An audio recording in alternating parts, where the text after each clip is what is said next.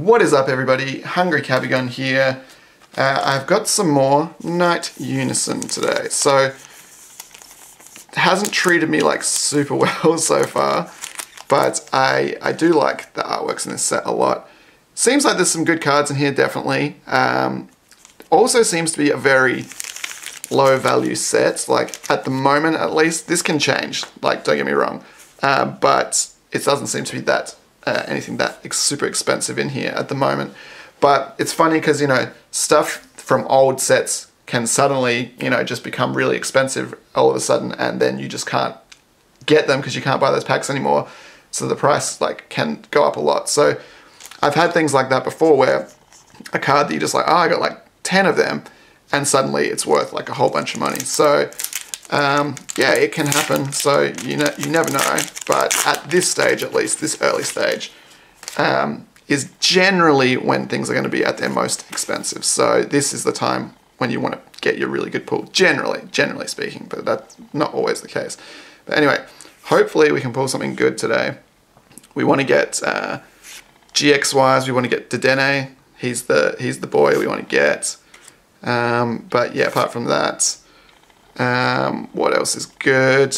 The uh, alternate art of these two guys is, is reasonably expensive, as is the one of the the Gardevoir and the uh, Sylveon.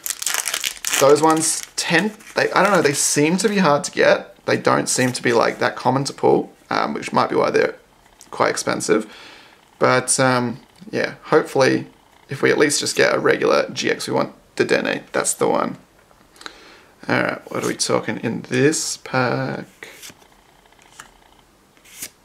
Oh, no. no. Why? Why? Alright.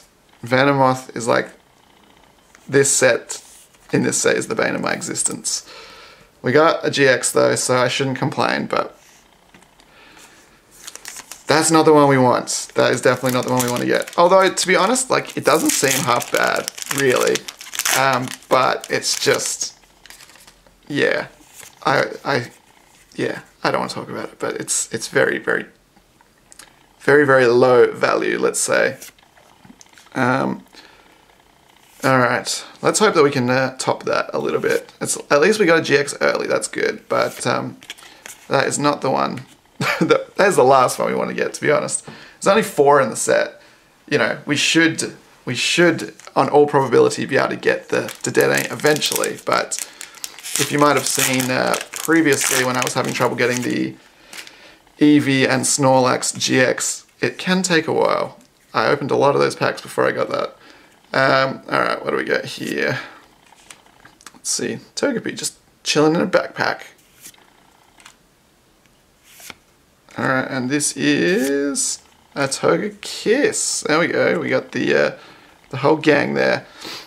That's pretty cool. And a Pikachu as well. Always nice. Alright, so please don't tell me the only thing we get is a Dustox. Not Dustox. That's what I kept saying in the other video until I realized I was saying the wrong thing. Venomoth. Um, yeah, that's that would make me really sad if that's all we get out of this. Alright, this one we have got a fairy charm, ability fairy charm. That's kind of intriguing, that one. That's kind of cool. But, I don't know, does anyone use those fairy charms? I'm not sure. There's so many different ones. There's one for basically every type. There's one for ultra beasts. There's all these different ones. And I just wonder, like, how you could possibly make all of them work. How do you know which one to put in your deck for, like, a tournament or whatever, you know? Uh, we got uh, Lieutenant Surge. If you haven't seen this, he basically allows you to play two extra supporter cards in your turn. So you can play him and then two more supporter cards in your turn, but you have to have more prizes than your opponents. So you have to be like behind in the game. But still, that's crazy. Like you got to feel like a lot of people are going to be playing that for sure. There's a lot of just crazy stuff you could do with that. All right, what do we got in here? Just a big old goldfish. That's no good. Seaking. What does he do? Exide Horn. Okay. I don't think anyone's going to be playing that, to be honest. But, um, as I said, you never know. You never know. Alright, please give us something else. I'll be super sad if we don't get anything else. I don't want to be greedy, but I just I don't want to get just a Venomoth. That would be so sad. Alright, what do we got in this one? Uh, another Kyurem, what the... These sets are small. Like, I think it's only 55 cards in the set. So you do get doubles.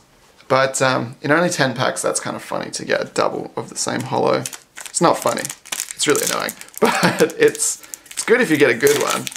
Um, but yeah, it's just kind of strange. I don't know how these packs are, you know, shuffled in the box or or in the, the shop when they gave it to me. I don't know how they they just took them from under the counter. So I don't know if they took just the top 10 or if they like mixed them up. Who knows? All right, and we've got, no wait, that's not the last card. And we have got, boo. We got a trainer at least, that's good, but it's not looking good. It's not looking good.